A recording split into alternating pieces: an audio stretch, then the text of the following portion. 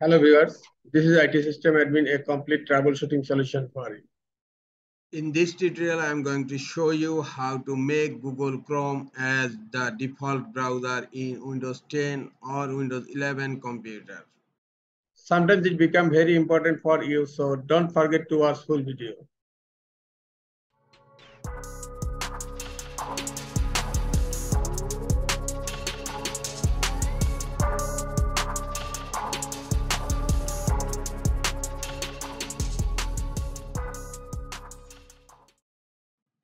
You can do it from two way one directly from google chrome browser and another one is windows 10 settings. Now i am going to show you how to make google chrome default browser from google chrome browser. Open your google chrome browser.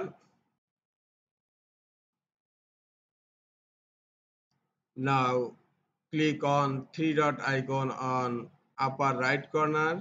Now click on settings.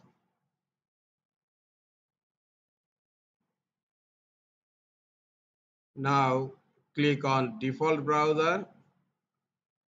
Now can click on make default and it will redirect you to the settings and you can select google browser from here.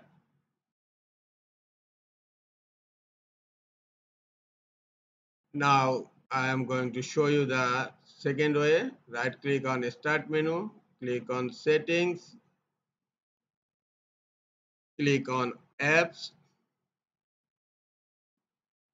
Now click on default app and now click on web browser the default browser in Microsoft Edge and you will find Google Chrome here and select Google Chrome and the Google Chrome default browser has been selected.